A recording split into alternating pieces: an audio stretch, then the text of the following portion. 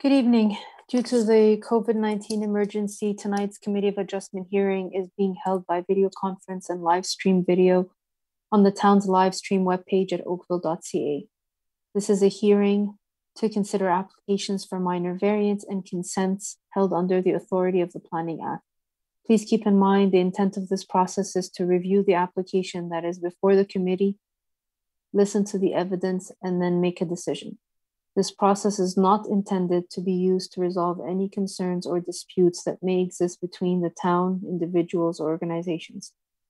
If a request for deferral is made and the committee grants such a request, the applicant or authorized agent must contact the Secretary Treasurer to schedule a new hearing date. In order to conduct an effective and efficient electronic hearing, we have adopted the following process. If you are watching the live stream of this hearing on oakville.ca and if you wish to speak to an item on the agenda, you can call 905 815 6095. Again, the number is 905 815 6095. The phone number will also be posted on the screen in the live stream page at oakville.ca. Staff will be standing by to take your call and provide you with further instruction to join the video conferencing. You will be asked for your name and number and the number of the item that you wish to address. And for and then the chair of the committee, when the chair of the committee polls for interested parties, the secretary treasurer will unmute you when it is time for you to speak. The applicant or agent will then be given the opportunity to briefly explain to the committee the basis of the application and answer any questions that may arise. A maximum of five minutes will be provided for the presentation. You will need to state your full name and address for the record and any submission beyond the five minutes will be then at the discretion of the committee. All delegations must also must also state their full name and address for the record, and a maximum of five minutes will be provided to make your presentation.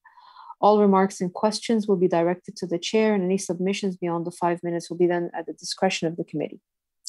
The applicant and agent will then be provided with five minutes to respond to comments made by interested parties and answer any questions from the committee members if the applicant or agent has concerns found in staff report, particularly with the proposed conditions, at that time, the opportunity will be to advise us.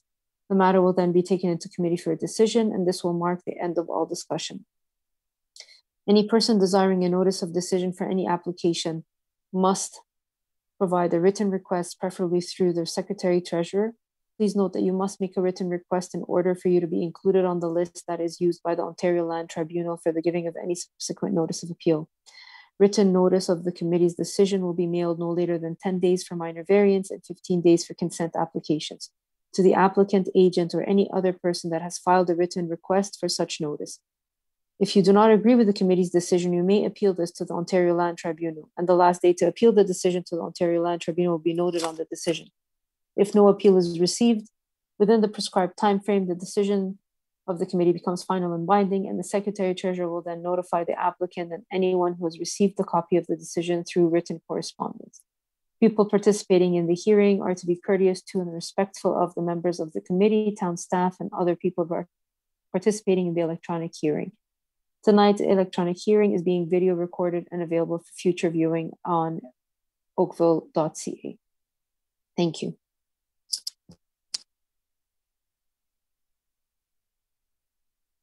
Uh, we have no regrets this evening. Madam Secretary, do I have any requests for a deferral or withdrawal of applications? And if there's anyone else in the audience who would like to request a deferral or withdraw an application, please raise your hand and you'll be admitted into the video conference. Can we do declarations, please? Oh, yes, the declarations. Do I have declarations for pecuniary interests? I see none. Thank you. Okay, I don't show anybody raising their hand, so I don't have any uh, previous knowledge of anybody requesting a deferral. So um, if anybody wants a deferral, they can raise their hand now. If not, uh, I guess the uh, chair will move on to the first item. Okay, thank you. And we have no consent applications. Our first item of this evening is CAV 020 of 2022. Oh, wow. That's uh, quite a coincidence for the day as well. Um, okay. Um, having said that, again, CAV 020 of 2022 at 460 Copeland Court. Who do we have representing this application this evening? If you'd like to speak to this matter, please call 905-815-6095. And we will uh, take your call and provide you with further instructions to join the video conferencing. Good evening. Hi, can you hear me okay? Yes. Awesome. Okay. Good evening, uh, Madam Chair and members of the committee. My name is Parveen Sandhu. I am the owner um, of 460 Copeland Court, Oakville, Ontario, L6J4B9. Um, an application, as you said, CAV 020-2022. Um, I'm here before you today to request one minor variance for RFA I do have a short presentation um, that I will just go through. So if you go to the next slide. All right. Um, this is the proposed site plan for our home. We are requesting only one variance, and that is for residential floor area. We are requesting an RFA of 31.26%, whereas the bylaw permits 29% for our property. This equates to approximately a difference of 35.92 square meters. Next slide, please. Uh, we believe our home design is compatible with the build form of the newer builds in the area. Our plan has also received support from planning services. We did take their feedback um, and, and designed a home that we believe reduced the overall massing and scale. Um, on the front elevation, of our proposed dwelling, you will see that the garage and the second floor above it are um, recessed and set back to create additional negative space and to soften the overall massing of the house from the street. And on the rear elevation of our proposed dwelling, you will note that it has lowered um, uh, roof lines for the family room and one story elements to once again reduce the overall massing and scale. Um, slide four, please. Our home is marked in red on this map. Copeland Court is surrounded by streets such as Chartwell Road and Linbrook Road, and the area consists of many new builds um, of various sizes and designs. Um, and I would like to note that I have received support from my neighbors, my neighbors um, directly behind me, which is uh, the Chartwell House Daycare Center, as well as my neighbor um, to the north. We're out of town, but have sent me support either by email or text.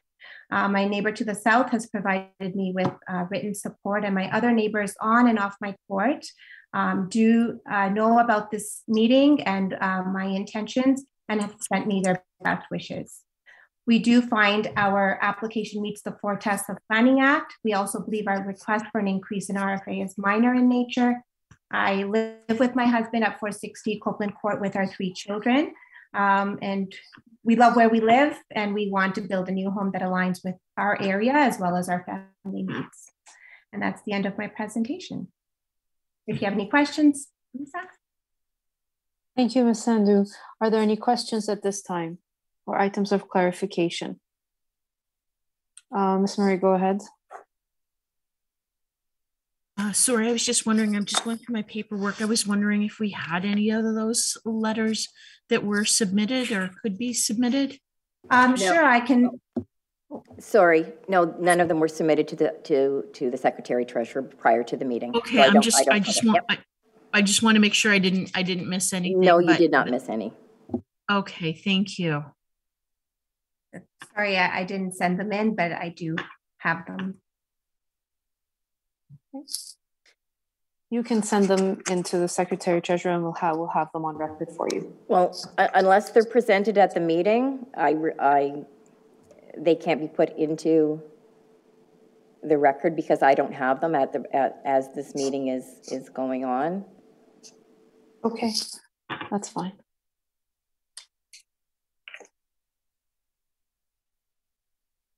Um, do we have anyone in the audience that would like to speak to this matter?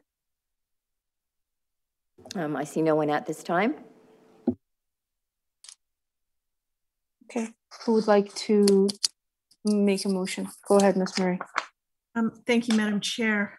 Uh, having conducted my site visit and reviewed the applicant's written submission, um, as well as the town's written staff report, which I note that the ta- staff is in support of this variance. also having ca- taken into consideration and account the comments presented by the applicant this evening, and thank you for the presentation. It was very good. Um, and we we do appreciate hearing that you've you've chatted with your neighbors and and and had some outreach. That's always a great thing to do when when you have a an undertaking such as this. Noting that there were no written um, objections at this time and noting that there is nobody on the line um, to object uh, at this time. Um, I'm satisfied that the minor variance uh, application meets all four tests under the Planning Act, and I'm prepared to make a motion to approve the application for the variance, subject to the following conditions. That the dwelling be built in general accordance with the submitted site plan dated um, 120621 and elevations drawing dated 110921 and that the approval expires two years from the date of the decision if a building permit has not been issued. Thank you, Madam Chair. Thank you, Ms. Mayor. Is there a discussion on this recommendation? Okay, I see none. All those in support? Okay, the application has been approved, none opposed. Thank you, Ms. Sindhu. Thank you.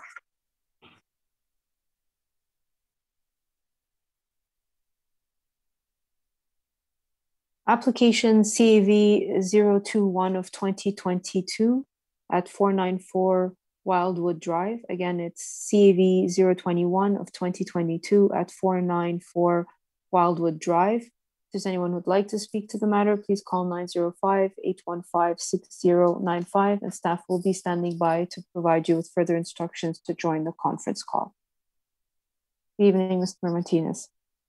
Good evening, Madam Chair and fellow council members. My name is Juan Martinez, and I'm a planner at Design Plan Services located at 900 East Mall, Toronto. Well, go ahead. You have a presentation. I do, Madam Chair. Um, through you, Madam Chair and committee members, we have been retained by the property owner of 494 Wildwood Drive to present this Committee of Adjustment application and the associated variances in front of you tonight. Um, the application consists of a redevelopment of the existing residential dwelling into a new two-story single detached uh, dwelling with an integral garage. The application consti- um, the application there's two associated variances to the uh, to the bylaw 2014-014 um, in regards to the proposed in regards to the proposed lot coverage and proposed lot floor area ratio. Um, I would like to note to the committee that this application has been circulated um, to uh, various city city departments and no concerns has been raised by any department. Um, in fact, planning services have provided justification in support of their uh, requested variances for this application and are of the opinion that this uh, application satisfies the test for approval under the Planning Act as stated in their staff report. Uh, through you, Madam Chair, before getting into the variances, I would like to clarify to the committee that the rendering, which was originally submitted to the committee, which you see right now in my presentation, is not the correct draw, drawing and does not reflect the proposed dwelling and variances.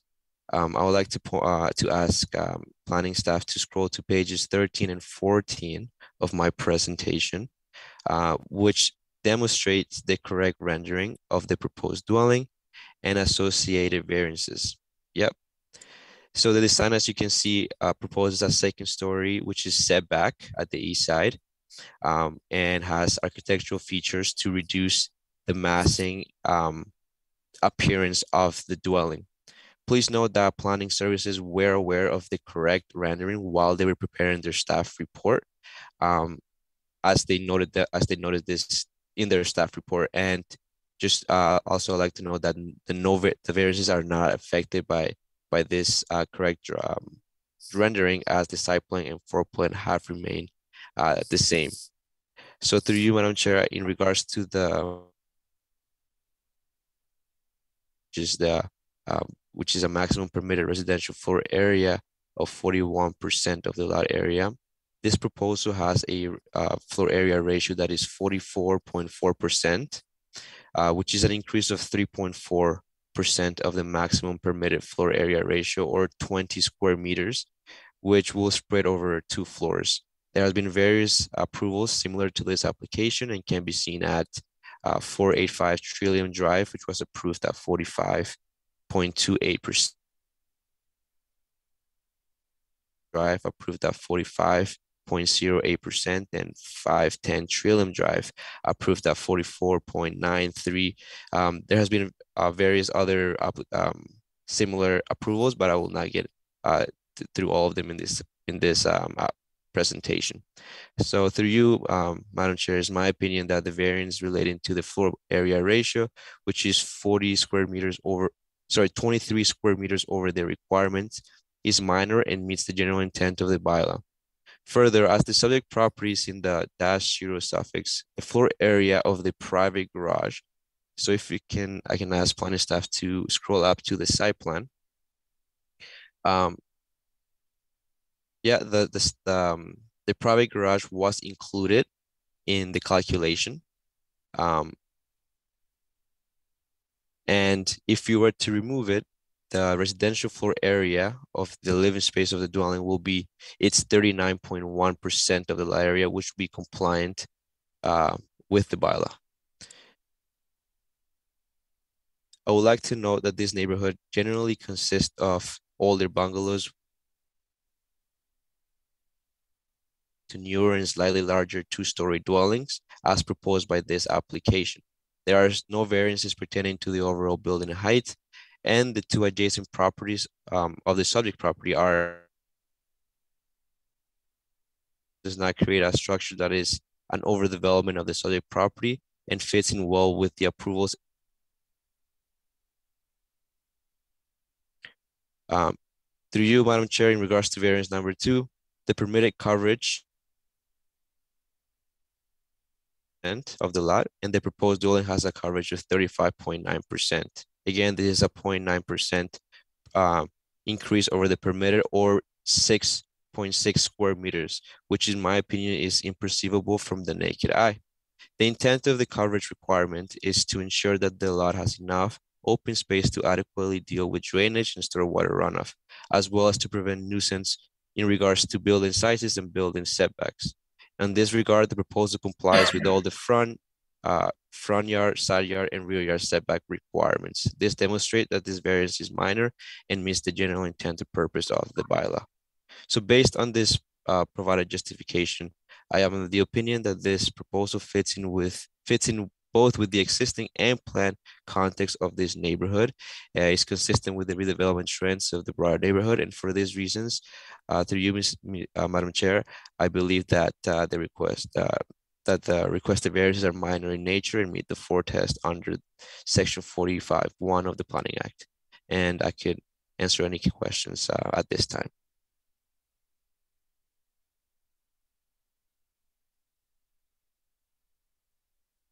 Very well. Thank you, Mr. Martinez. Um, any questions or comments or items of clarification? Okay, I see none. Uh, if there's anyone in the audience who's raised their hand or on standing by to speak to this application, Madam Secretary Treasurer. Um, there's no one at this time. Okay. If there are no questions and there's no one, go ahead, Mr. Flemington. Thank you. Thank you, Madam Chair.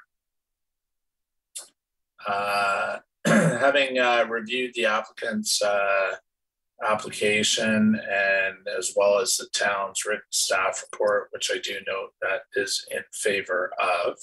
Also noting that there were no uh, members of the community that were in opposition or in support of the application.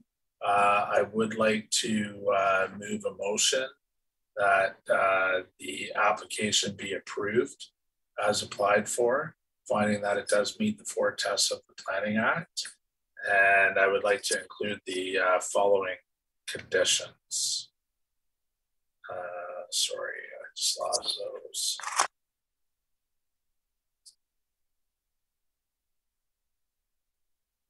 Sorry. Of course, this is the fun of technology.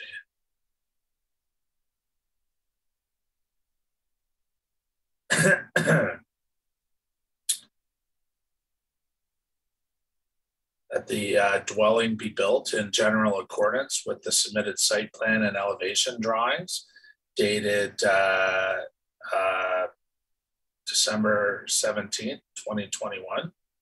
And secondly, our standard condition that the approval expires two years from the date of a decision if a building permit has not been issued. Very well, thank you, Mr. Flemington. Is there a discussion on this recommendation? Okay, I see none. All those in support? Okay, the application has been approved, none opposed. Thank you, Mr. Martinez. Thank you. Have a good night. You too. Application CAV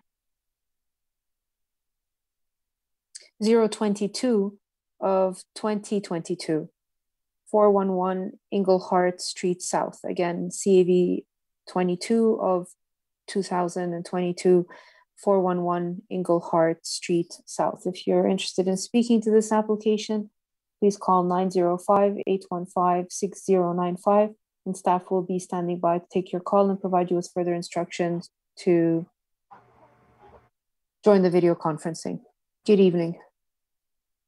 Good evening, Madam Chair and committee members. My name is Mr. Tomas, go ahead. My name is Tom Sproul. I'm the agent on behalf of Paul and Eric the owners of 411 Englehart Street South. You have Do you have a submitted a presentation? presentation. It's coming up right now. Yeah. Okay, so uh, we're requesting, uh, well, the application is for seven variances. Uh, There is quite a bit of opposition against planners, so I'd like to go over point by point why we feel some of them should be supported. We could get the next uh, slide, please. The first variance is the window well encroachment into the front yard. Staff has supported that.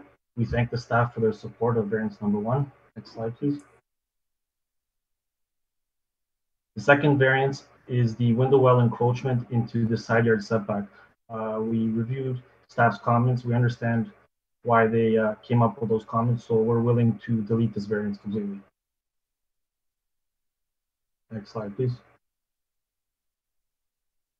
Third variance has to do with residential floor area ratio.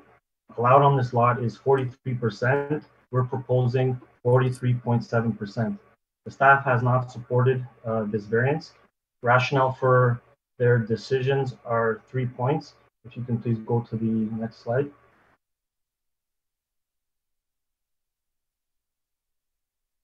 Can I get the next slide, please? Oh, sorry. Yeah, so what, the, sorry, go, yeah. So their first point was uh, to prevent the dwelling from mass and scale that appears larger than the dwelling in the surrounding neighborhood. Uh, massing is derived from floor area, building height, and side yard setbacks. The floor area increase of 0.7% is what we're requesting.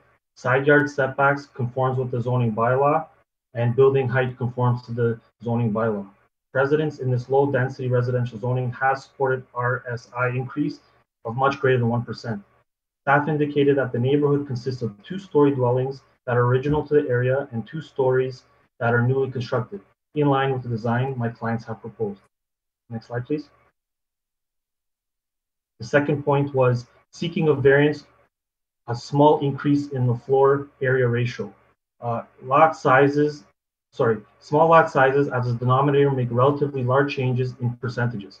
RSI 0.7 requested is uh, 43%, which is allowed, versus the 43.7. That's where we get the 0.7%. Uh, the requested floor area translates into an increase of 3.81 square meters, which is 41.01 feet squared. Uh, next slide, please. The third point in regards to variance three, combined with the other vari variances, support of this variance is not appropriate given a redesign of the dwelling is required. Wish to be transparent and show all the variance requested as a whole rather than in several parts. Uh, home and garage together in rather than separate C of A hearings for each one. Hence, all variances are being requested together tonight. The home design has been created with an accessible main floor with large access doors, hallways, washrooms, and turning radius in other living, living space to accommodate mobile devices to owner. Staff notation of redesign being required is felt to be an extreme statement for a 0.7 RSI when we feel we kept the design characteristics, height, architectural character, and proposed material in line with the surrounding homes. Next slide, please. In conclusion to variance three, we disagree with the massing comments made by planning staff, where increasing of 0.7% for RSI is minimal, but results in a functional home for a disabled person requiring accessibility accommodation. The design of the home and material is in line with the neighborhood. Precedents in the area for granting RSI increases of more than 1%, and neighbors at 407 and 417 have supported the design characteristics and variances requested in writing with no object, uh, objections received from others in the notice area. Those two letters also were uploaded and should be with uh, staff. Uh, next slide, please. The fourth variance was lot coverage. Uh, was unsupported by the staff. Uh, they made they made four uh, rationales for it.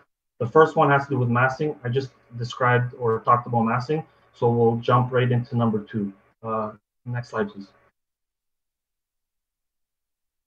Uh, point number two, ensure that adequate open space is available on a lot for outdoor amenity areas and stormwater infiltration.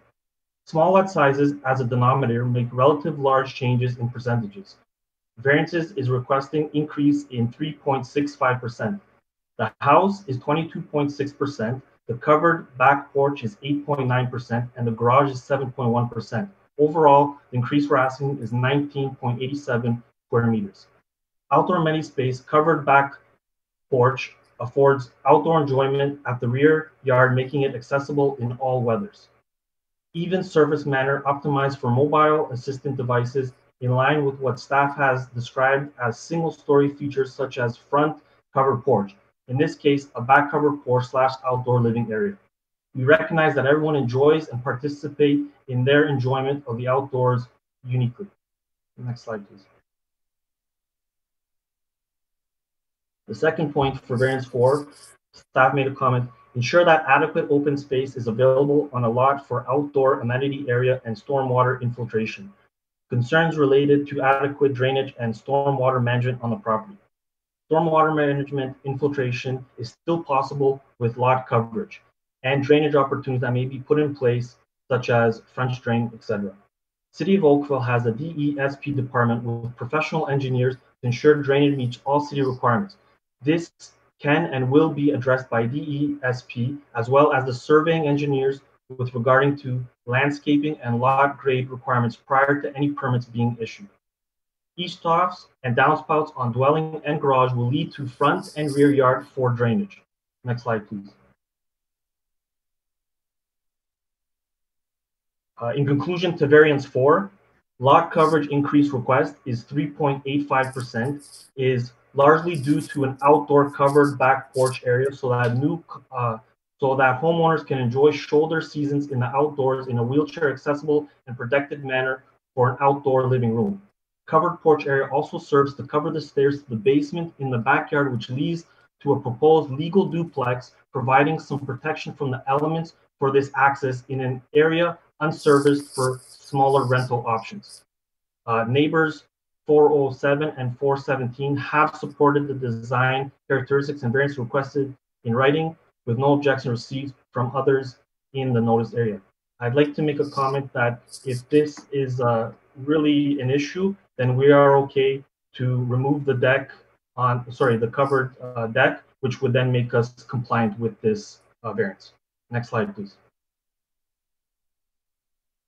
Variance number five was unsupported uh, by the city. City had three rationale, uh, ra rationale for staff decision provided.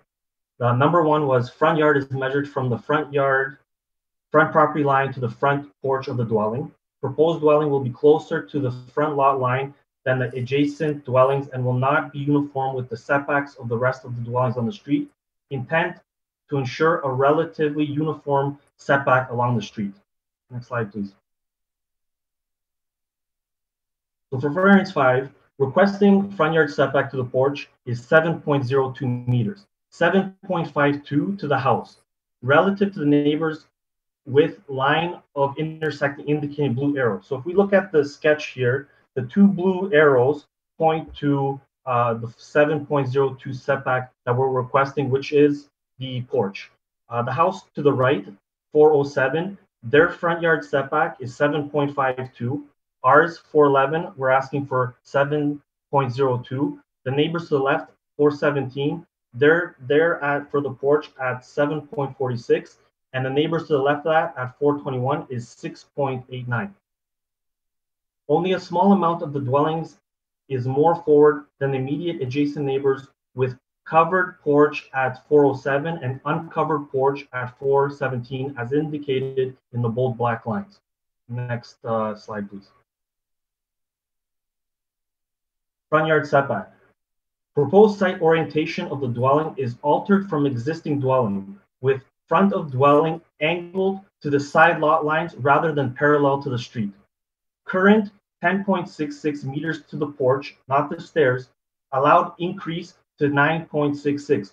Reduction of 2.46 request for 7.02 meters.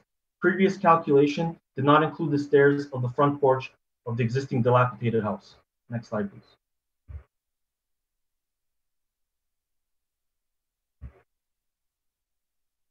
Um, so these, this in conclusion to variance five, the proposed dwelling does not come in does not come as close to the street as 421, which was the 6.89. And as such, the request setback does follow the intent of the regulations being a relatively uniform setback along the street. With the setback uh, requested lying between the houses close to the street and 421 and the neighbors adjacent. Uh, we question in the review of the setbacks of the surrounding homes was thorough and precise. A comment about the street by the staff suggests an inattention to detail saying there are no sidewalks along Engelhard Street South. This is factually incorrect. Please view the site plan and we will see there is a sidewalk in front of the subject property of 411 site plan. For that, we would have to look at the site plan, but maybe I'll finish my presentation and then we can look at the site plan if need be. Uh, the last point of this would be that the neighbors of 407 and 417 have supported design characteristics and variance requests in writing with no objections received from others in the notice area. Next slide, please. Uh, so now is variance six. Variance six and variance seven have to do with the the accessory building, which is the garage in our case in the rear yard. Um, the setback required for the rear yard is 0.6. We're requesting 0.28. Uh, the staff did not support it. The rationale for staff decision provided was one, allow for adequate separation between accessory buildings, two, allow for adequate space for drainage, three, uh, adjacent properties abutting the property detached garage also have accessory building in close proximity to the property lines. Uh, four, concern for adequate drainage to the subject property and adverse impacts of adjacent properties. Next slide, please. Number seven is also in regards to the side yard setbacks of the accessory building. And this time it is the interior side yard. Also 0.6 is required. We're asking for 0.3. Staff didn't support it for the same four reasons. Next slide, please. Uh, variant six and seven. So the existing garage, which is denoted in the blue with the X, rear yard setback is 0.01 over, sitting on the rear neighbor's property over the property line.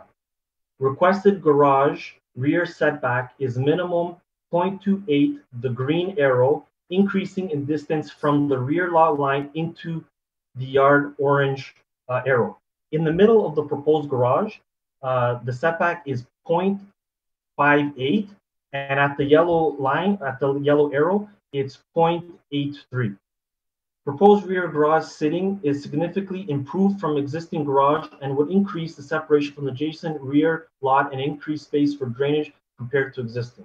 Next slide, please.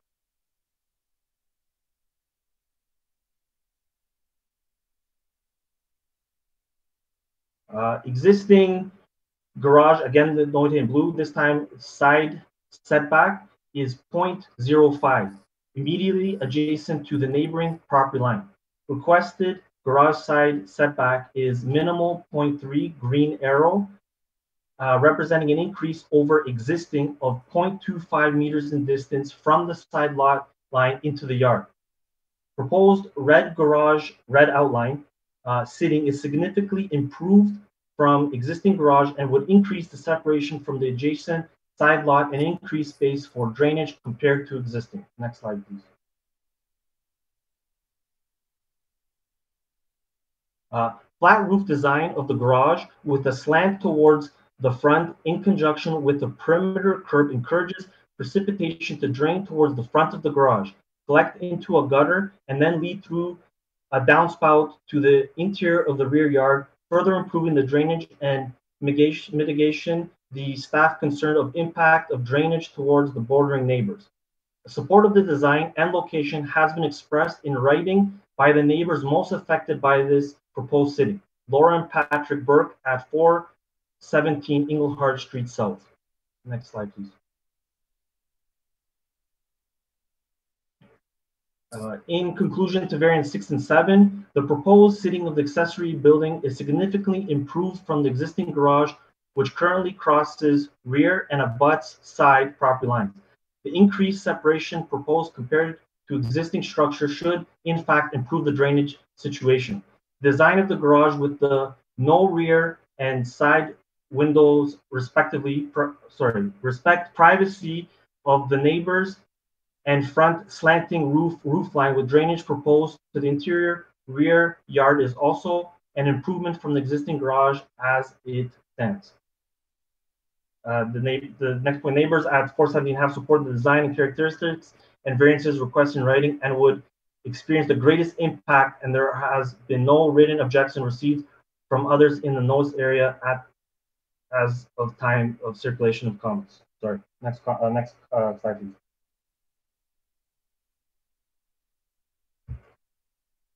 Fulsome drainage assessment by the DESP by professional engineers in conjunction with land and site drainage surveys would be required with demands met prior to any permit being issued to build. And as such, concerns about drainage negatively affecting subject and adjacent properties should be addressed by them rather than planners, given the expertise of the engineers. Neighbors at 417 have supported design characteristics and variances. Uh, there have been no written objections received from others in the notice area at the time of circulation or comment. Next uh, slide, please. Uh, in summary, a complete request has been submitted rather than parting out garage and house in separate C of A hearing, with multiple requests for minor variances being expressed at one time. We feel that the composite of these requests uh, has been deemed to be a concern for planning department despite our transparency. The reason we say this is because rather than doing a C of A application strictly for the house and then for the garage, we would have never had so many variances. And we feel that because we tried to do it in one shot, maybe what scared the planners was the seven variances. The front yard setback request is in line with the neighborhood. The proposed accessory building location is significantly improved over existing garage and careful roof design has incorporated for improved drainage with lessened impact to the neighbors. Next slide, please. Um, in this is now to, to end off uh, all the points. Yard and lot drainage water management will be uh, completed by DESP professional engineers before permits are obtained. Requested RSI increase of 0.7 is minor and has been accepted in the past for RL3-0 according to previous meetings of C of A. Requested lot coverage increase of 3.65 have also been accepted in the past for RL3 according to previous uh, minutes of C of A. Support has been expressed in writing by both main side yard neighbors at 407 and 417 Engelhardt Street South, and no concerns about the request variance and proposed site plan to our knowledge. We believe the requested minor variances do meet the four tests and the proposed dwelling accessory building will be a complement to the neighborhood. Next slide, please. I thank you for the opportunity to present this information on behalf of my clients and respectively disagree with several of the arguments put forward by the staff and the planning office as detailed in the slides. I'm willing to take uh, any questions now. Hey, thank you, Mr. Gorel. I commend you on the thoroughness of your presentation and all the details. Let me see if um, any of the members have any questions or items of clarification. Mr. Murray, go ahead, start us off. Uh, Thank you, Madam Chair. Through you, Madam Chair, to town staff. Um, One of the things in the staff comments was it's a unique situation where adjacent properties abutting the proposed detached garage also have accessory buildings in close proximity to the, to the property lines. As a result, staff concerns regarding adequate drainage on the subject property. I'm wondering if we have the information at hand, Madam Chair, that would share with us whether or not the abutting properties have variances in place for those accessory dwellings. Because we have an applicant coming to to us for a variance. I'm wondering if the adjacent properties also have variances in place if historically drainage has been an issue. Um, Yeah, through- yeah, Can I, you- can I- you can can answer speak that. on that? or- Actually, it's, the, the question is for the planner, so just give us a moment, Mr. Gorel. Thank you. Um, so through you, Madam Chair, there's the application at, on the adjacent property, which is also being heard today. Um, I don't believe that there were, I need to confirm whether there was variances on the adjacent properties. I, I believe that's kind of historical, um, buildings in the, at the rear there in terms of the, um, garage that was on that property. And whenever we take a look at an application, we're looking at the whole picture in terms of what's adjacent to the property, what's on the property as it stands, and what's coming. And so both applications that are side by side being considered in conjunction with each other in, in terms of our review and, and the implications. And um, in ev- evaluating the garage, I spoke with engineering staff at the town, and they mentioned that you know anytime that we reduce the setbacks, you know there could be concern. And at this point in time, with the information that was presented to us, we could not confirm whether there could be a concern or not. And so that's that was expressed in the report that um, there was concern about whether um, there would be drainage issues as a result of the all these um, accessory buildings being in such close proximity. So that's what led to those comments. If that, if, please let me know if you have any additional questions related to that. Um, th- thank you that for, for that. Um, just one additional comments comment. I I note that our presenter today um, cites the support of 17, but for the record, may I also note that uh, the neighbor at 417 also has an application for which 411 is supporting. So um, it, it appears there is a little quid pro quo. So I'm going to take that support with a grain of salt, and I'd like that noted. Thank you. Um, thank you, Ms. Murray. I, I have a follow-up question on, to piggyback on Ms. Murray's question. So have there been drainage issues in the past that, to your knowledge? That's my first part of the question. And the second part is, given that the, this application is being assessed with a, an adjacent property as well, are you not confident that some of these issues that are potentially may arise, and we've seen that complaint for uh, for drainage and stormwater management um, from many developers, um, that the DS, DESP will in fact um, manage and take care of those issues. Um, so I think at this point, I'm unaware of whether there has been drainage issues on the property with the existing buildings, but they are proposing new buildings that have greater area um, and different kind of setbacks and, and design. At this point, um, if the if the committee are wanting to, um, you know, make a decision with some support to this application, I'd at least ask that there be a, some type of condition that any approval would be uh, subject to um, DESP approval. Because I think at this point, sometimes in this situation, we'd be approving something that we already know that could have a huge be a problem for drainage. And if we are approving that at this time, we want to make sure that they it's it's dependent on whether D, the drainage does work on the property. Because I think that's the concern is that um, often we have properties come in and uh, we know that it can we can make it work already, you know, through what's going to happen in that next process. But at this point, um, there is concern whether it is possible to work appropriately. So once the applicant did go through that DESP process, we would have those drainage plans, see the grading and drainage, and there is a possibility that it could work, and they could prove that to us and show um, engineering staff that that would work out well. Um, but at this point in time, we don't have those plans, so we don't know, and and we didn't have the comfort of approving it at this point in time as the application stands. That's fair enough. And then my last question has to do with the second variance, which the uh, applicant has offered to delete.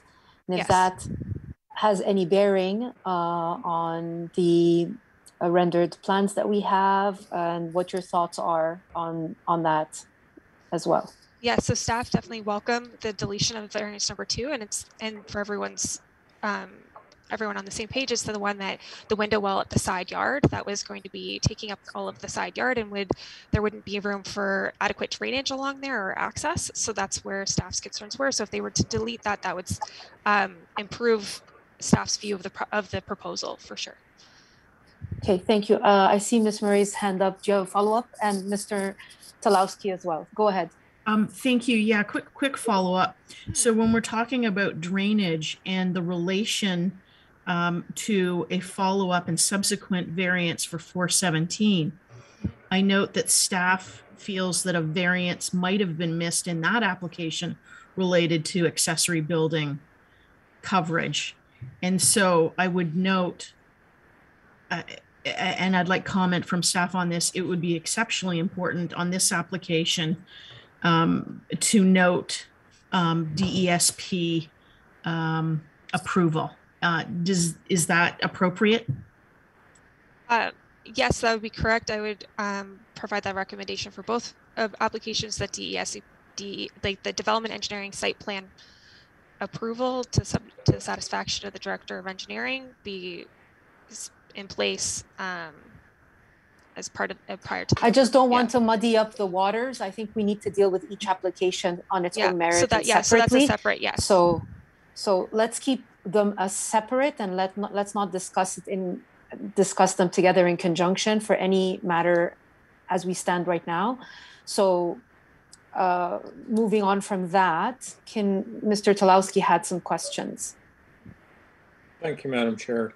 Uh, I'll just comment on that last issue. I'm not sure we need any reference if it were to be approved because that uh, site plan, development engineering site plan will happen anyway. But uh, I have two questions for the applicant. Um, It's really conditions five, six, or variances five, six, and seven that I'm struggling with. With respect to the variances for the garage, um, you know, I, I'm having difficulty when you've got a requirement that all stormwater has to be maintained on site, um, how you can deal with that in a one foot side yard. And similarly, how you deal with maintenance uh, to the building. But uh, my question is, why are you seeking these variances? They don't seem necessary in that it looks like you have room to uh, meet the bylaw. And my second question is with respect to the front yard setback. Um, again, I'm not sure that it's necessary for the extent that you're seeking.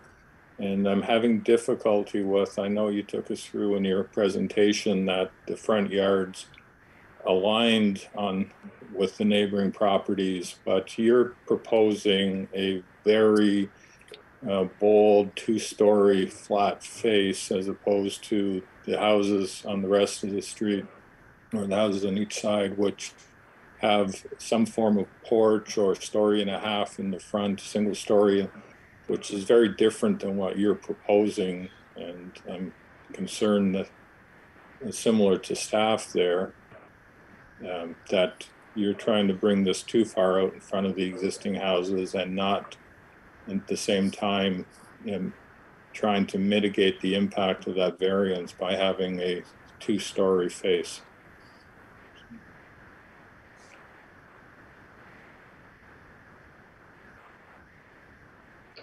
I can speak now? Yes, go ahead, Mr. Burrell. This, this question was for you. No problem. Um, so the reason for the garage is, uh, it's basically there's a garage there right now. Uh, it's in a good position and they just want to put a garage back in the same area. Um, I know we're not to talk about, uh, 417 right now, but I am the applicant on that project as well, which I will be presenting afterwards.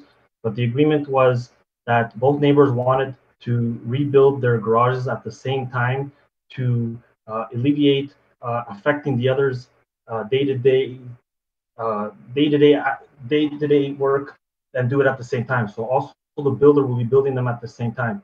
We've also made sure that they'll be slab on grade, so we won't be digging four feet in the ground.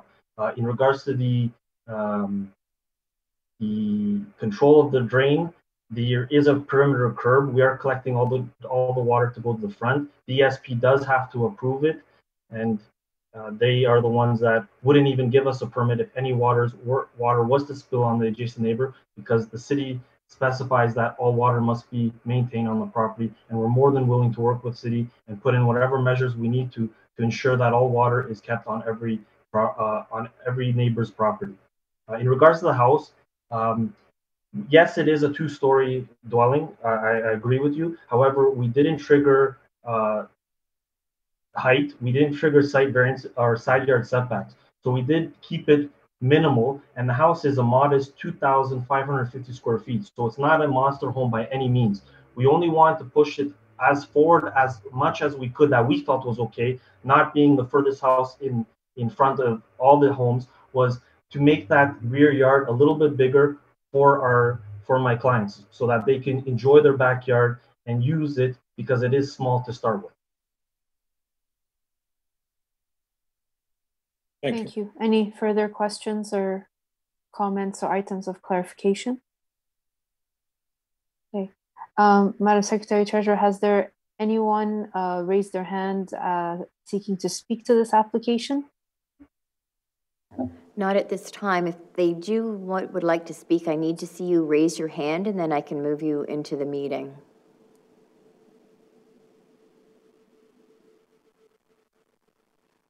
I don't, do not see anybody at this time. Okay, very well. Then we can take the matter into committee. Who would like to start us off?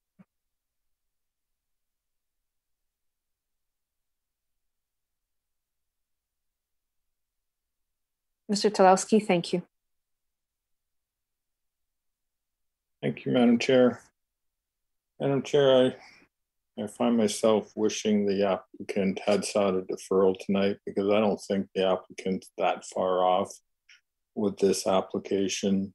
Um, however, um, you, you've heard my comments. I, I don't believe there's a need or a justification or is it desirable to approve new one foot setbacks um, for new construction and I think the applicant could have done a much better job in trying to mitigate the request for a front yard setback. I don't find the combination of the reduced front yard and the design of the house with the two story uh, facade to be desirable.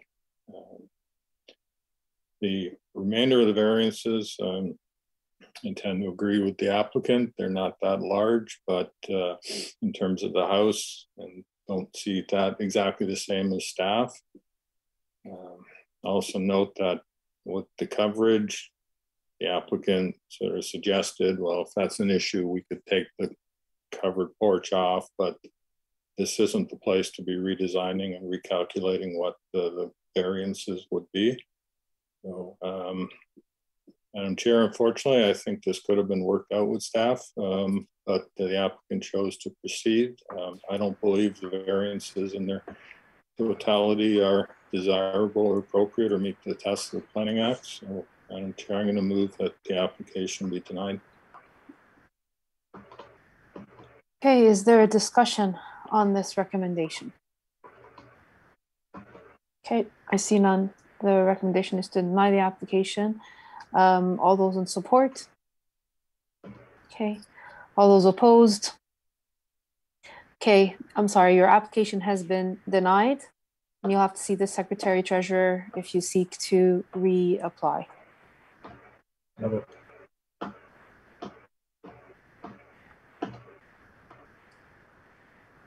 Okay, application CAV 2023 sorry, 23 of 2022 at 180 William Street. Again, the application is CAV 023 of 2022 at 180 William Street.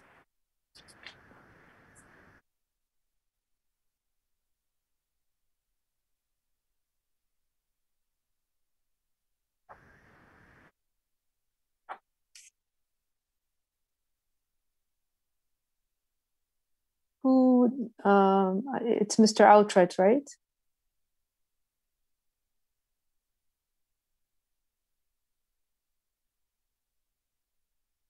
Yes, correct. It's Mr. Outred.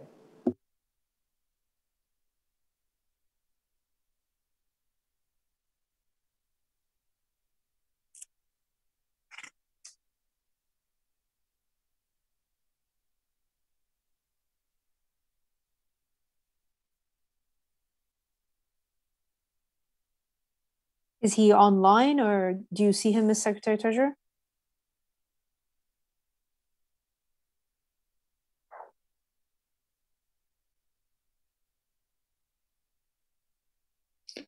You're muted. Okay, Yeah, sorry about that.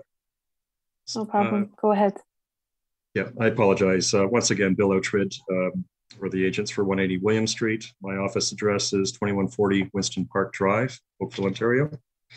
And we're just here for uh, a minor variance related to a, uh, a small cabana uh, at the subject property. We're requesting one variance lot coverage of 33.3%, whereas 25% is, uh, is required.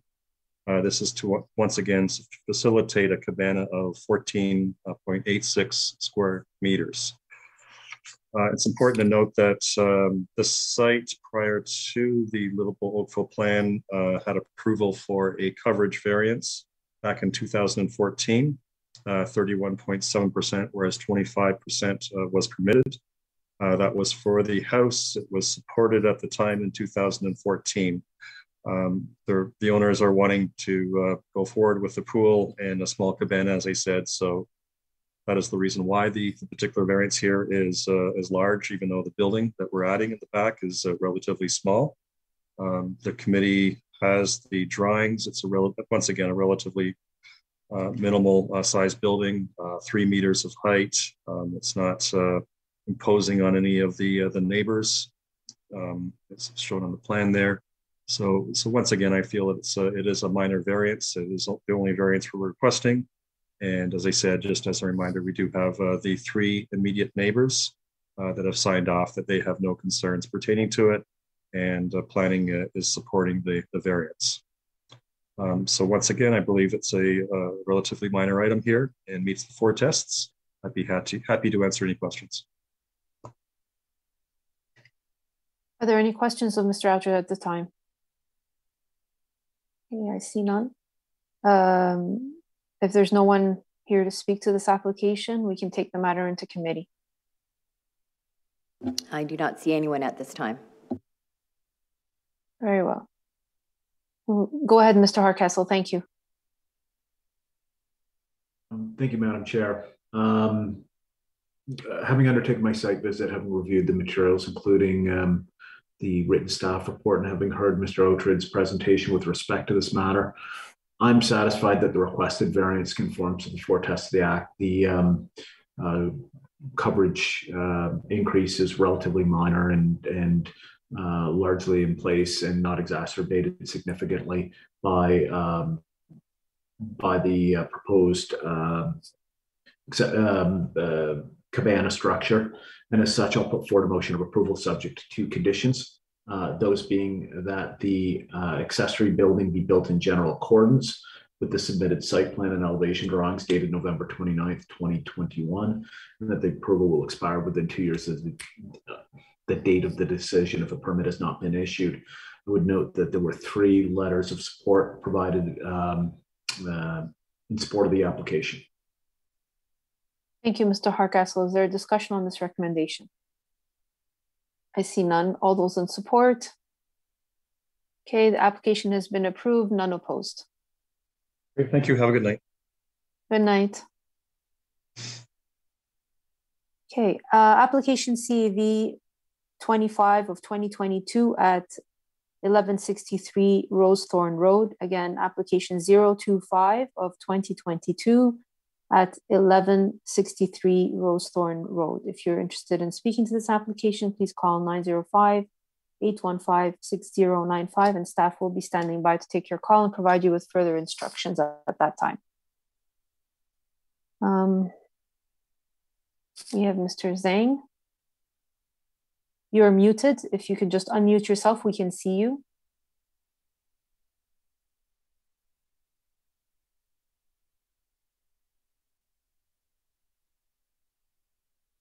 It's in the top section of Oh, your. Yeah, Zoom. okay.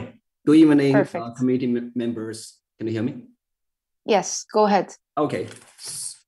Uh, my file number is AVA twenty-five, two thousand twenty-two.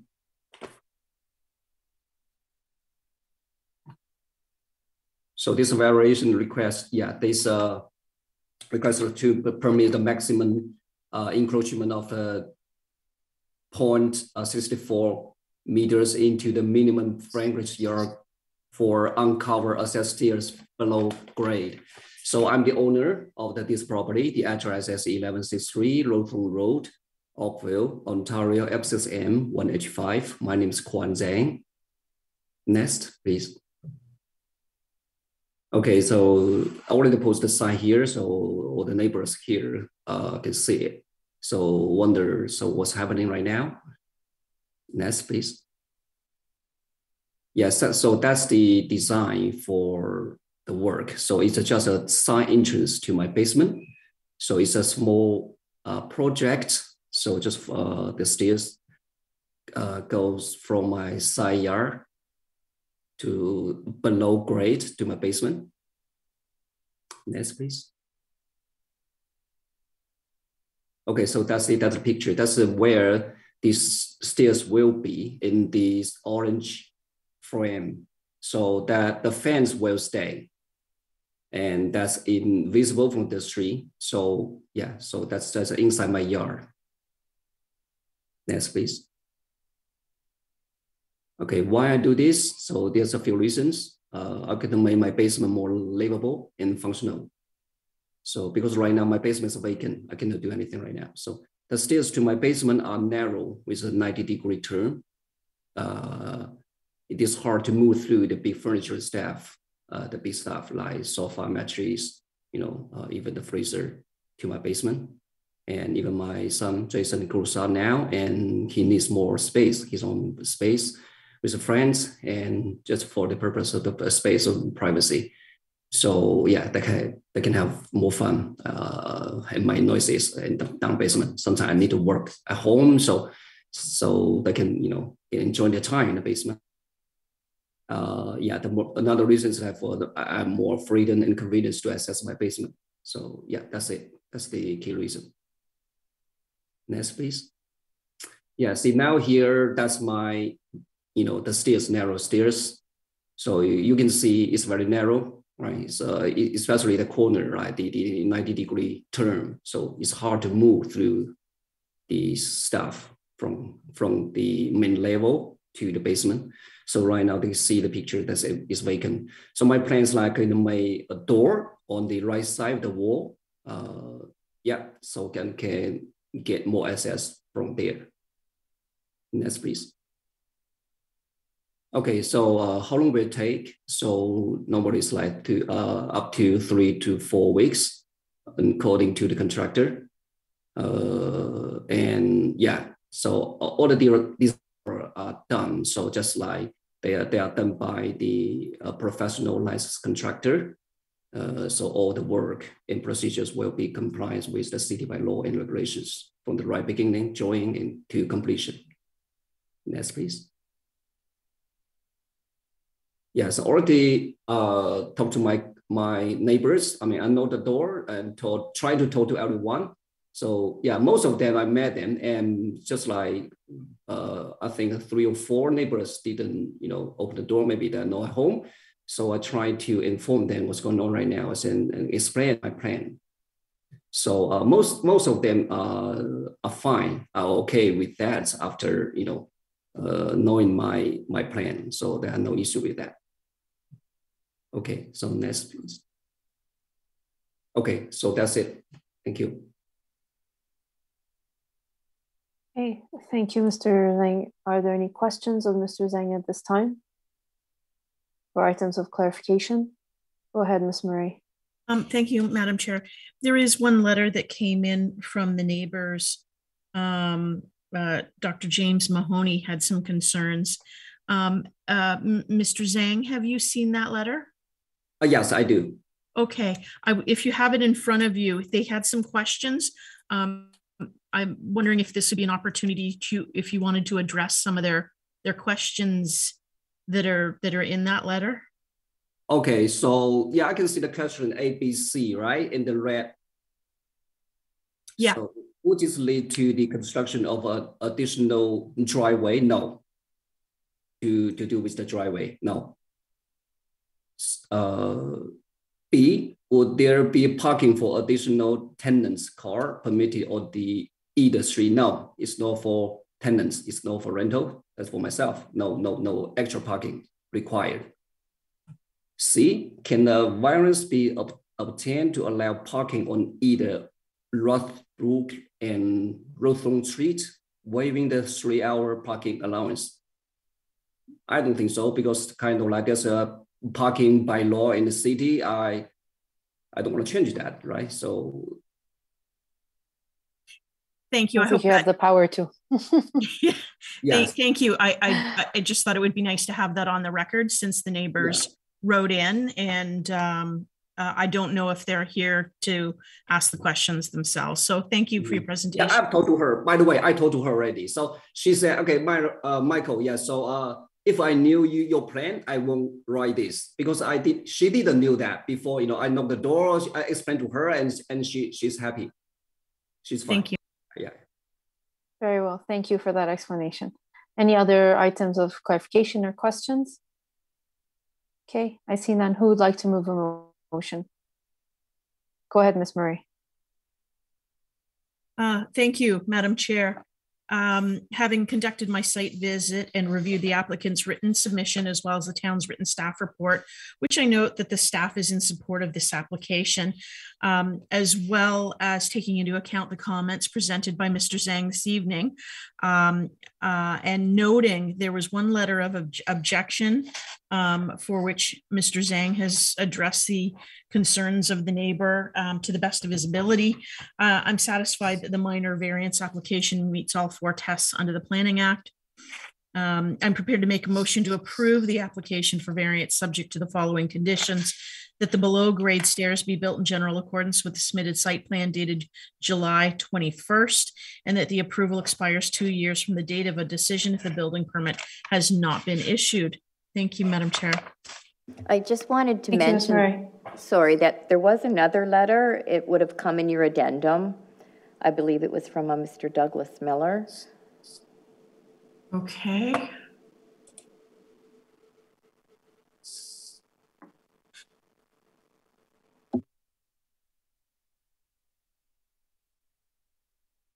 I just wanted noted that it, that, that it was received, even, like, we had the holiday yesterday, which was hard to get all the comments out, but I just, it was sent as a late addendum today. Yes, I did see that. Thank you. No, I just, in- Um, in case Mr. Miller is watching, I just want to make sure that they're aware that it did go to the committee members. Thank you. Okay, thank you. And Mr. Miller isn't on the line to speak? Uh, no, he's not. Okay, and Mr. Miller asks, he's concerned um, whether or not um, there'll be a widening of the driveway. And that is not part of this application, to be clear. Yeah, there seem to be similar concerns as Mr. Mahoney. Thank you. So we've covered them and Mr. Zhang has addressed them all. Okay, uh, you can go ahead and continue your thought process on the motion.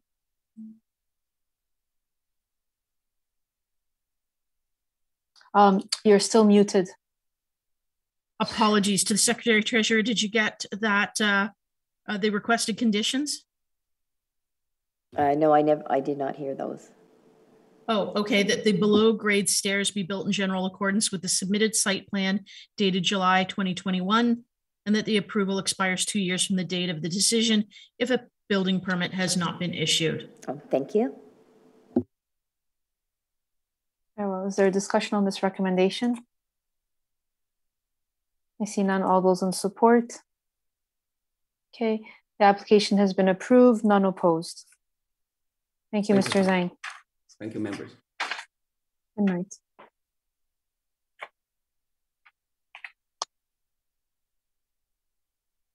Okay. We have application CAV uh, 026 of 2022 at 228 Tilford Road. Again, it's application CAV 026 of 2022 at 228 Tilford Road. If there's anyone who's interested in speaking to this application, please call 905-815-6095 and staff will be standing by to take your call. Good evening. Go ahead, Mr. Demczak. Uh, good evening, members of the committee. Uh, my name is Paul Demczak uh, with Batory Management. I am the planning consultant uh, on behalf of the applicant for 228 uh, Tilford Road. I do have a brief presentation prepared.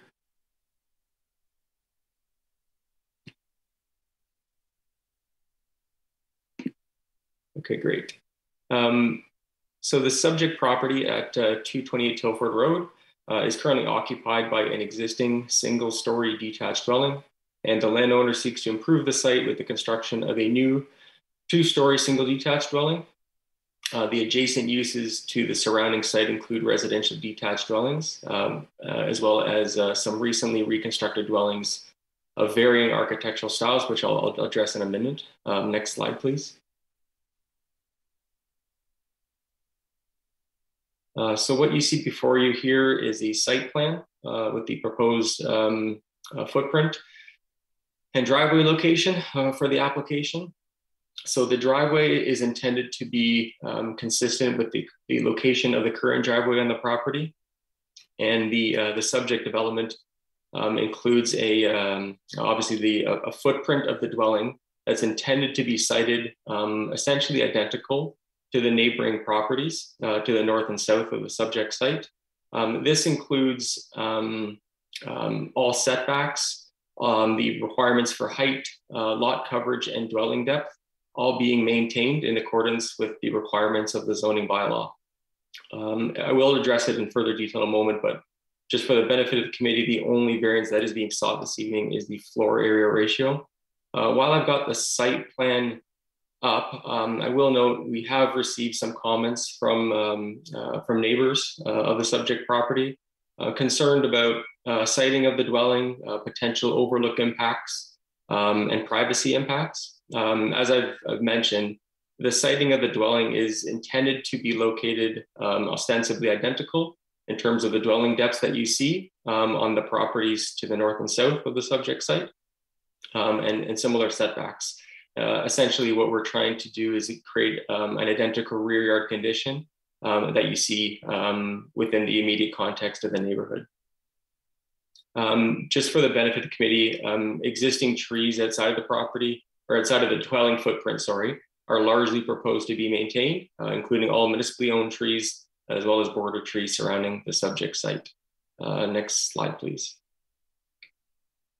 Um, what's being proposed is a, uh, a modern uh, two-story building. Um, I will note, and uh, I've got a couple slides showing the adjacent properties in a moment, but I will note that there are other modern dwellings uh, within the neighborhood in the immediate context, and there is a variety of architectural, st architectural styles uh, within this immediate neighborhood context. Next slide, please. This is the rear elevation. Next slide, please and then just the, uh, the two side elevations on the slide. Next slide, please.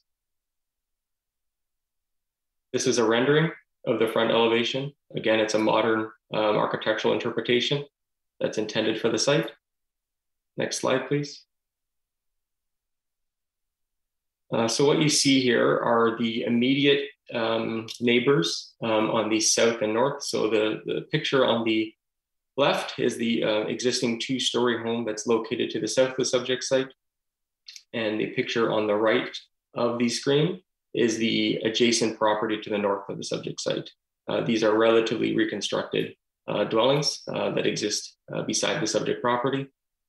Next slide, please. Uh, so again, for the benefit of the committee, um, there is one variance being sought. It is for the floor area ratio, which is going from 29% to a proposed 33.07%. Um, just for the benefit of the committee, um, we have had discussions with staff um, in advance and uh, during the process of obviously our application being submitted. Um, I will suggest we had, um, at least from my opinion, uh, some very respectful disagreements on, uh, on the proposal. Um, and I want to just walk the committee through just some of the thought process that went into some of that. Uh, next slide, please.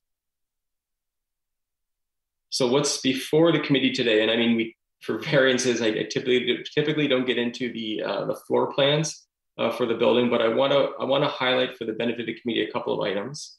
So there is uh, there was comments from staff that spoke to um, the concerns about the numbers of open to belows uh, within the second floor. So essentially, that's the cathedral ceilings that are proposed.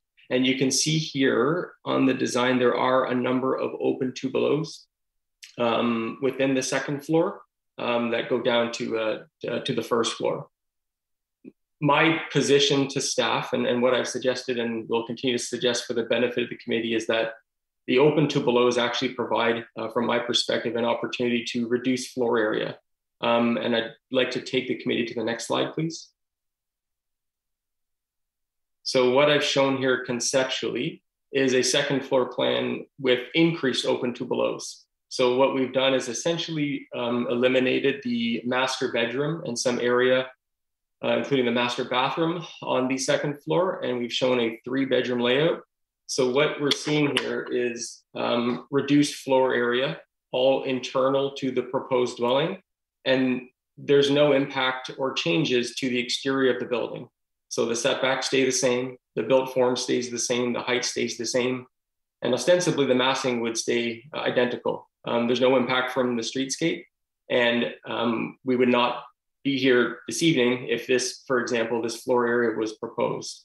So we are filling in, in theory, some of those cathedral ceilings to allocate for additional floor area for my client and his desires for his family. Next slide, please.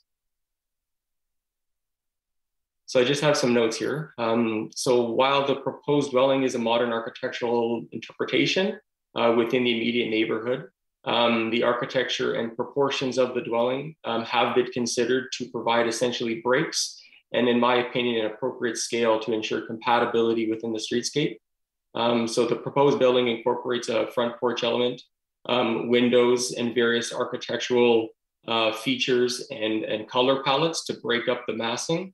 Um, and these, uh, this type of, uh, of breaks are also found within the context of the immediate neighborhood. Uh, my client is proposing high quality architectural materials and designs. Um, and again, I, I, will note that the proposed dwelling maintains all other requirements, the bylaw, coverage, height, all setbacks and dwelling depth uh, to essentially mirror what you see uh, within that immediate uh, lot fabric. Um, I, have submitted a planning justification brief as well for the benefit of the committee. Um, and in my opinion, it does meet the requirements specifically of section 321 of the Oakville uh, design guidelines for uh, stable residential communities. Next slide, please.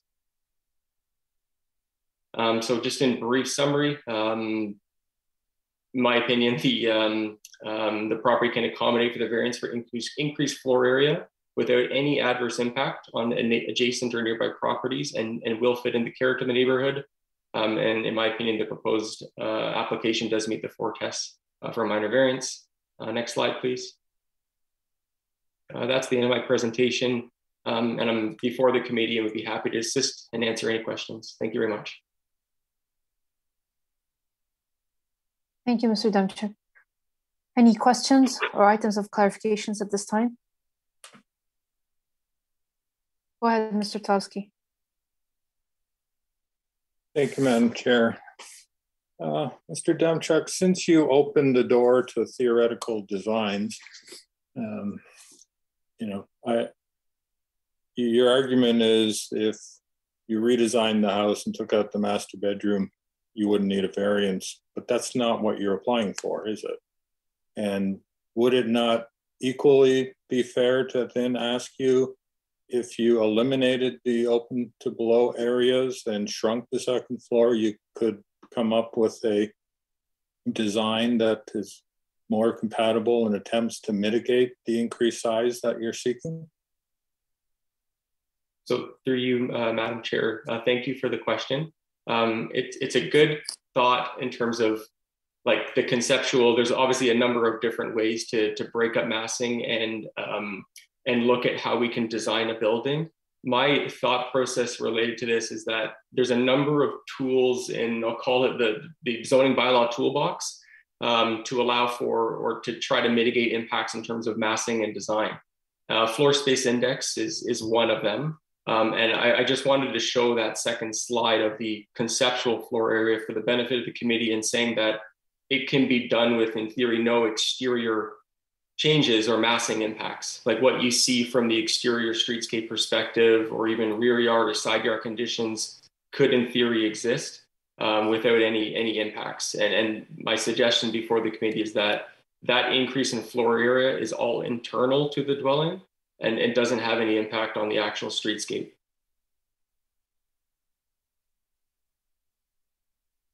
Thank you. Any other questions or items of clarification? Mr. Flemington.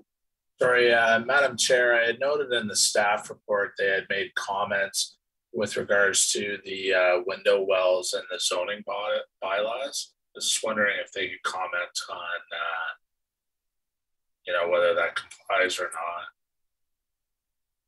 Thank you. Through you, Madam Chair, I have spoken to my client and the architect on that.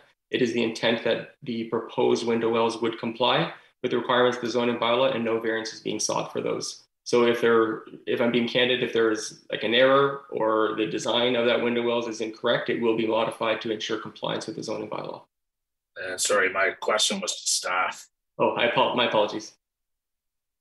Uh, through you, Madam Chair, I, I believe that he's responded in terms of whether they would comply or not, because I think in the report we said that we were it needed to be looked into whether they complied. So if he were to comply with those, that would satisfy that specific comment related to the window wells. Sorry, thank you. Any other questions or items of clarification? Do we have anyone standing by that would like to speak to the application or Secretary Treasurer? Uh, there's no one at this time. Okay, very well. If uh, we're ready, I'm happy to take a motion.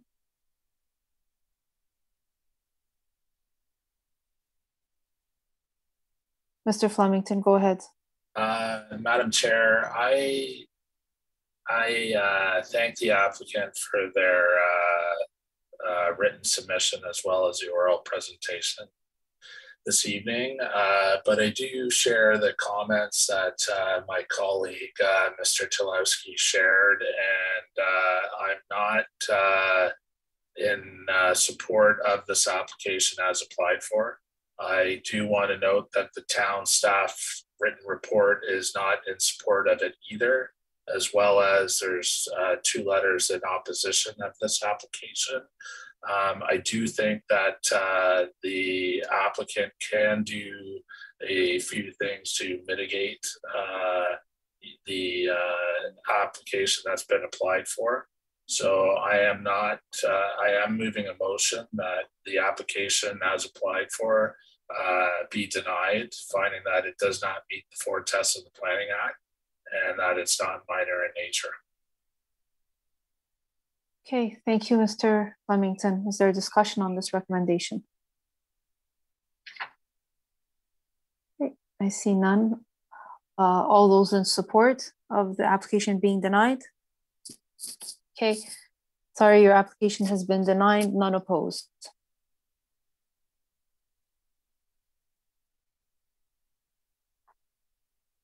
Moving on to application CAV 027 of 2022 at 187 Dean Avenue.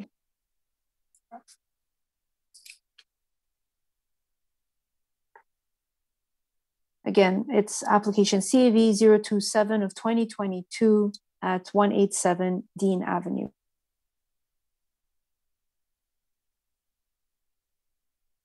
Good evening. Can I, can I just? Ms. Bruce? I'm, I'm sorry yes, to interrupt. Go ahead, Ms. McRae. Just one moment.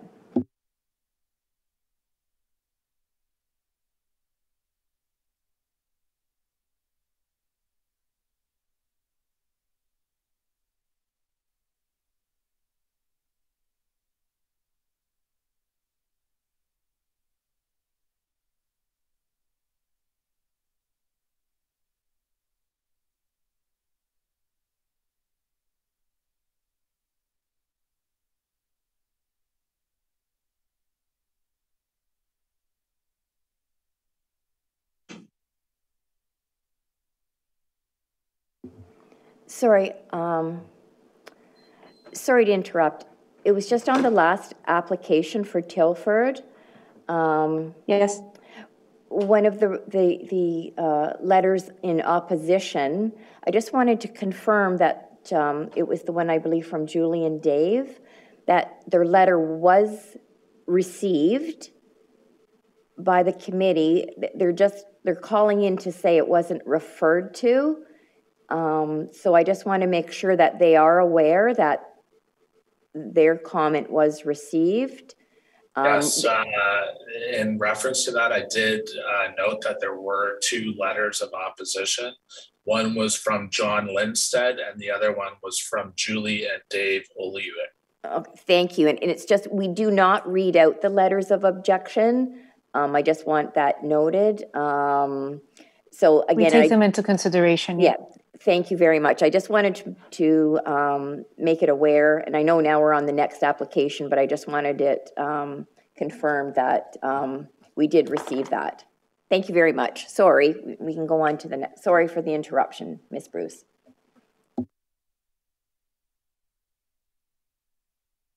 Just give me one moment.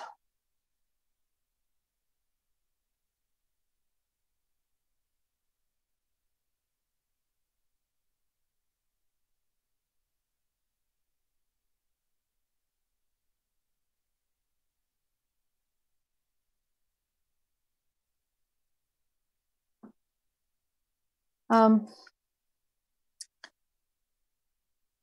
We're back on application CAV 026 of 2022. I was just um, reviewing the notes for the previous application when we had that uh, uh, question from the um, the neighbors who provided the letters of opposition. Um, Thank you for your patience. Go ahead, Ms. Bruce. Good evening, Madam Chair and members of committee.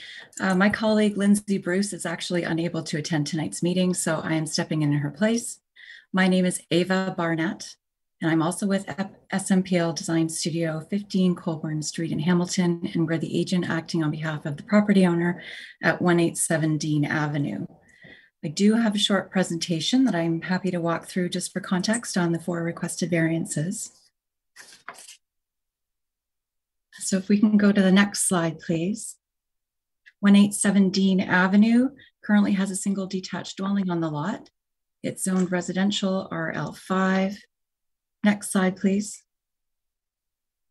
The existing dwelling is proposed to be renovated with a second story addition and attached garage, along with removal of the existing recessed detached garage. Next slide, please. So four variances are requested.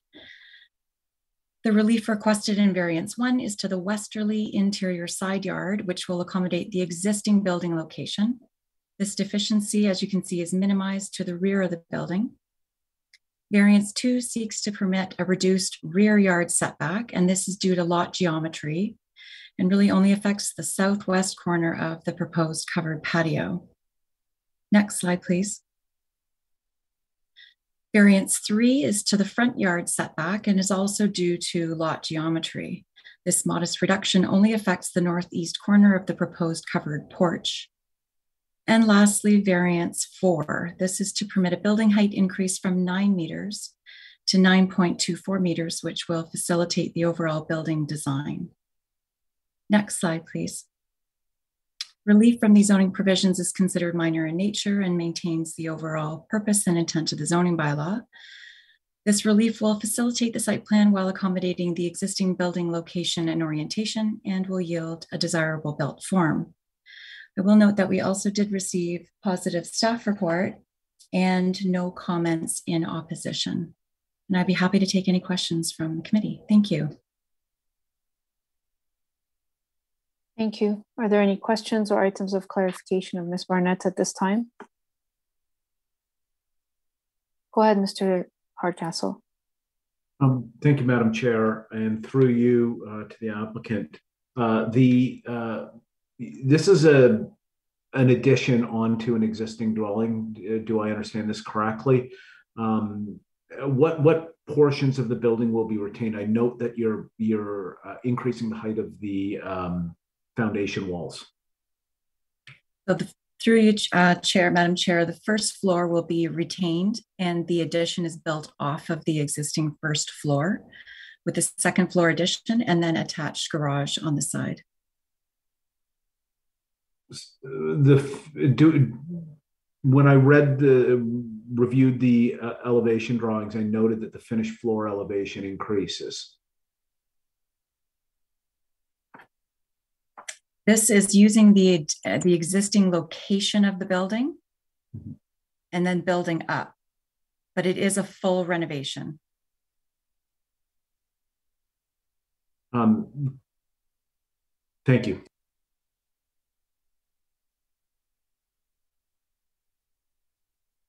Any other questions?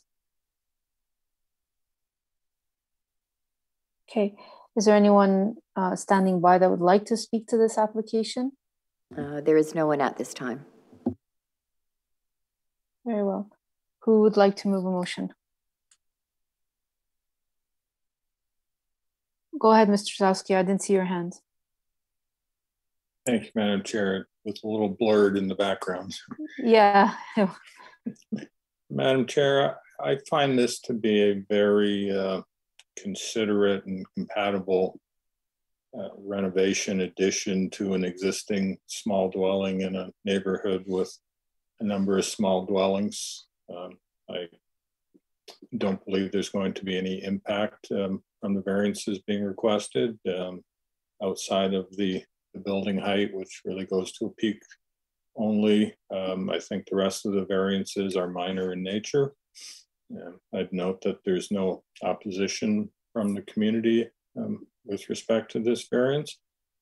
So I believe it meets the four tests of the Planning Act, and I would uh, move its approval, subject to the dwelling being constructed in general accordance with the site plan and elevation drawings dated January 14th, 2022, and that uh, building permit issue within two years.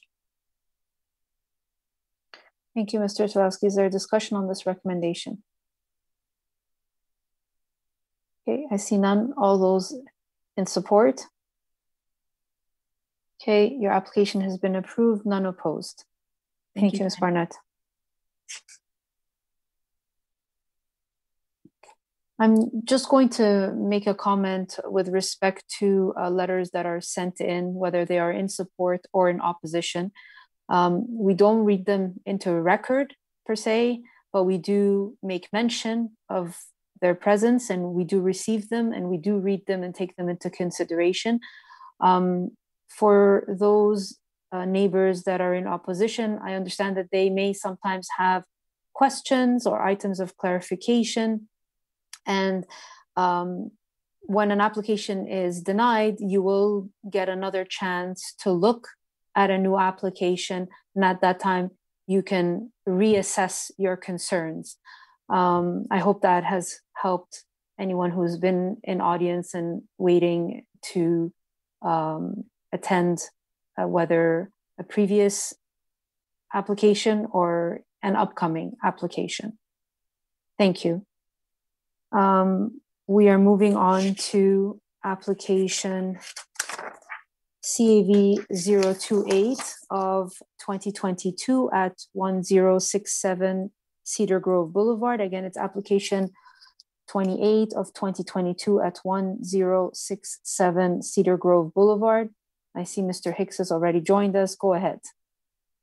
Uh, good evening, uh, Madam Chair, members of the committee. I do have a brief presentation if we can uh, put it up on the screen and go to uh, to that. Um,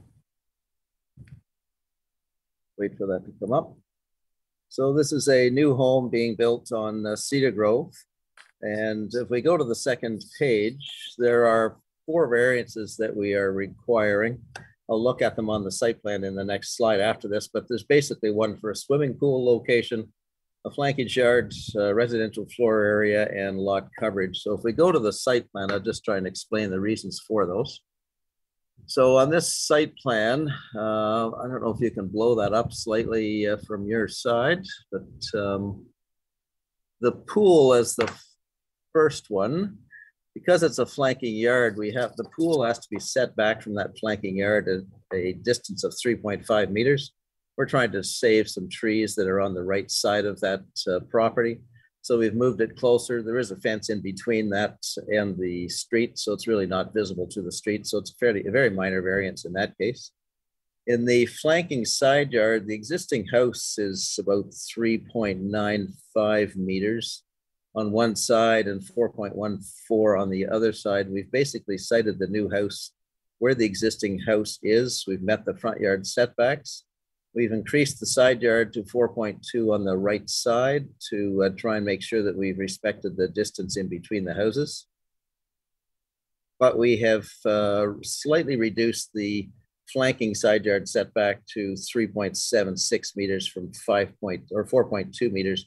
As I say, that's a difference of about eight inches or 0.2 meters from where the existing house is. So again, appears to be fairly minor. The um, gross floor area to lot ratio, 37%. We're proposing 38.37%.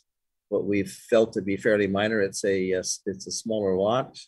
Lot coverage, uh, the small red area that's that's uh, uh, noted on that site plan represents the increased coverage, which relates to an open covered porch at the back of the uh, property trying to preserve all the trees. There is one existing tree uh, that's obviously in the middle of the house that has to come down.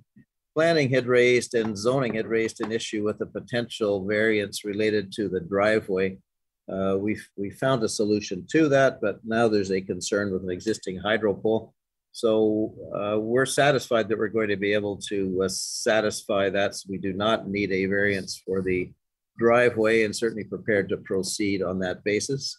We have met with uh, most of the neighbors, as we always do. We submit separate packages to the neighbors with the drawings, ask them to contact us. And uh, there are two letters of support in there. There's one other letter that didn't make its way in there, so it's irrelevant, I guess. But Mr. Platt, who's on Cedar Grove, uh, also called me to support that application, but he was out of town. And I believe that in our working with planning that uh, there were some concerns at the beginning, and I think we resolved all of those. And I thank you uh, for your uh, discussions and uh, cooperation in doing that. And I think planning's in support of the application as well. Uh, we think it does meet all the four tests. We think it is minor. It'll be a great addition to the neighborhood, and it is a neighborhood that is in transition. And certainly, this house is compatible with what we see happening in the neighborhood itself. with that, I will uh, leave it open to members' uh, questions if you'd like. So. Okay, thank you, Mr. Hicks.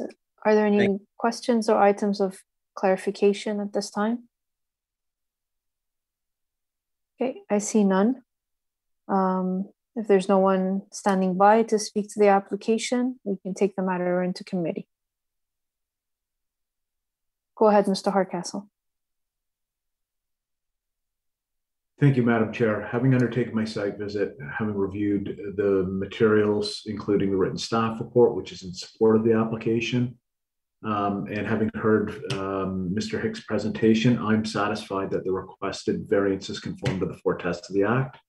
I'll put forward a motion of approval, uh, subject to three conditions, um, those noted by staff, those being that the dwelling be built in general accordance with the submitted site plan to the satisfaction of the Director of Planning and elevation drawings dated uh, January 19th, 2022. That the approval will expire within two years of the date of the decision if a building permit has not been issued. And that the owner satisfy Oakville Hydro with respect to the relocation and or removal of the hydro pole as necessary. Um, I would note that there were uh, two letters um, received um, in support of the application. Um, yeah. Okay, thank you, Mr. Hardcastle. Is there a discussion on this recommendation? See none. All those in support? Okay, your application has been approved, none opposed. Thank you, Mr. Hicks. Thank you, Madam Chair, members. Have a good evening. Good evening.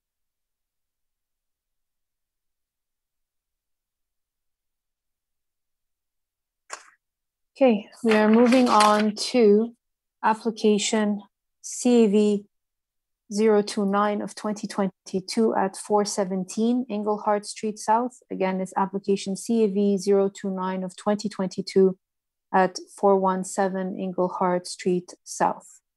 And I believe that's Mr. Burrell again. Yes, go ahead, sir. Um, based on earlier uh, 4, 4 11 uh, decision, I'd like to defer this one. Okay. And you're aware that there's a deferral fee? That's why we didn't want to defer the first one because it's quite steep at $730. Yeah. Um, I, you'll have to see the secretary treasurer for another date um, when you're when you're ready. But um, members, I'm in your hands. Um, all those in support of a deferral to allow Mr. Tomas to go back and rework this application. Okay, um, your application has been deferred. Thank you.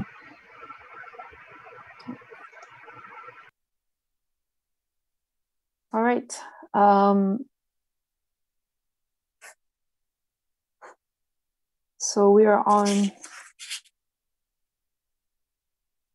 the last item of our agenda is application CAV 030 of 2022 at 284 Southview Road.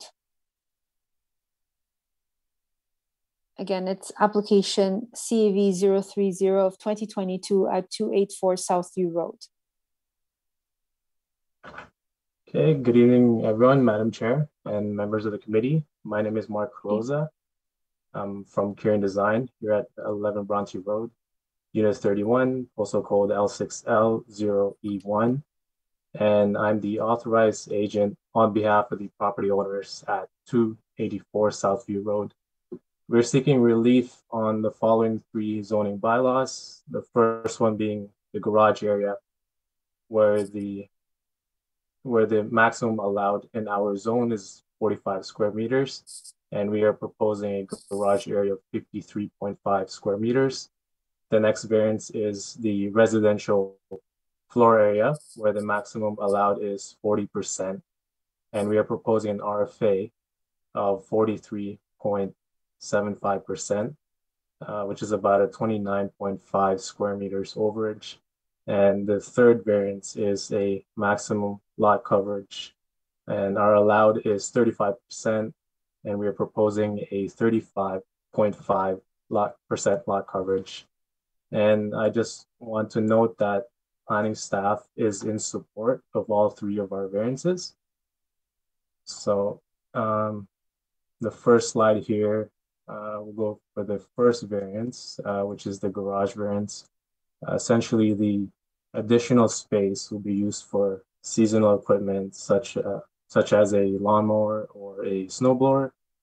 The RFA variance can be attributed to a total um, combined area of the servery and pantry combination, as well as a larger living room at the front there, and a floor area for uh, to accommodate the elevator on, on both first and second floor.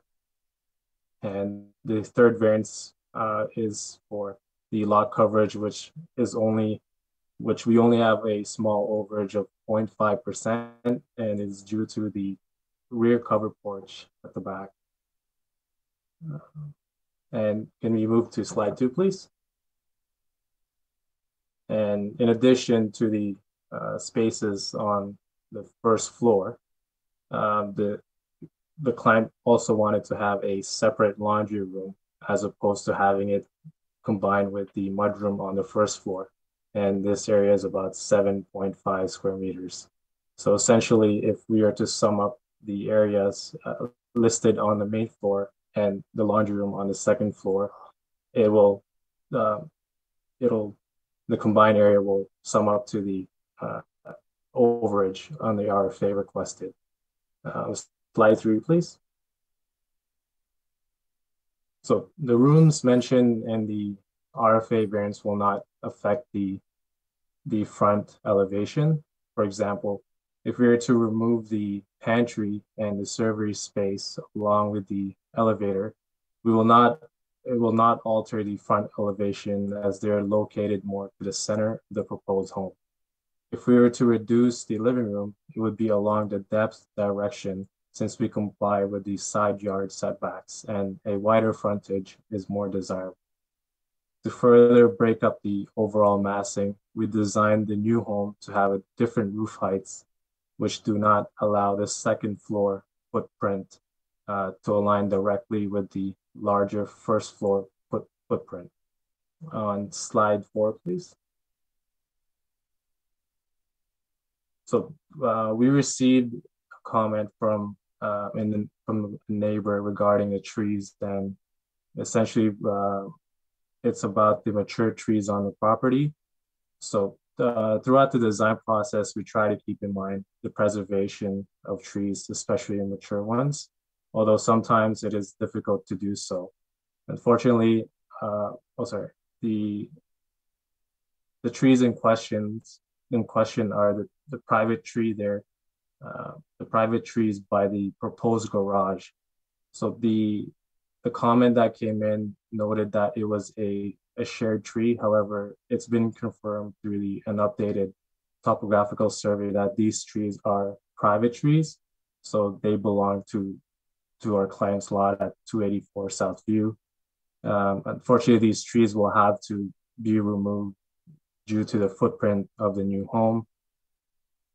Um, through the DSP process and the guidelines, we'll be required to plant replace, replacement trees uh, for the ones uh, being removed, and we are anticipating to replant at least eight new trees. Uh, the trees at the rear of the property are also private trees, two of which are in poor condition, uh, which will be confirmed through an arborist report. And the hedge along the along the west southwest side of the property um, will also be retained. And I hope this answers all my questions. Oh, sorry, answers the question regarding the trees. And that concludes my presentation.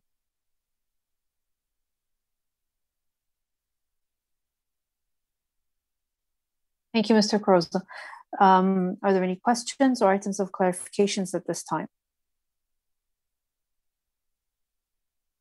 Okay, I see none. Um, who would like to, uh, if there's no one here that's like to speak to the application?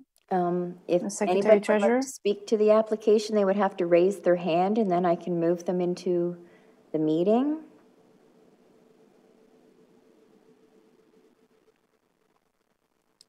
I don't see anyone at this time. Okay, very well. Thank you. Um, who would like to move a motion?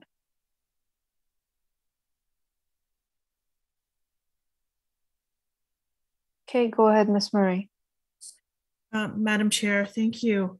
Um, having conducted my site visit and reviewed the applicant's written submission, as well as the as uh, the town's written staff report, which I note that the staff is in support of uh, these minor variances, having also taken into account the comments presented by the applicant, as well as um, I do understand that there is one letter um, uh, concerning the three to four mature large trees um, uh, that was in question. Uh, is the applicant aware of that letter from Mr. Sharp? He just answered Yes. the, the concerns of the letter. Right. Okay. So they've been answered uh, sufficiently. Um, so I'm satisfied that the minor application meets all four tests under the Planning Act, and I'm prepared to make a motion to approve the application subject to the following conditions. And those conditions are such that the dwelling be built in general accordance with the submitted site plan and elevations drawings dated January 11th, 2022, and that the approval expires two years from the date of the decision if a building permit has not been issued. Thank you. Okay, is there a discussion on this recommendation? Okay, I see none. All those in support? Okay, the application has been approved, none opposed. Thank you. Have a good night. Thank you. Good night.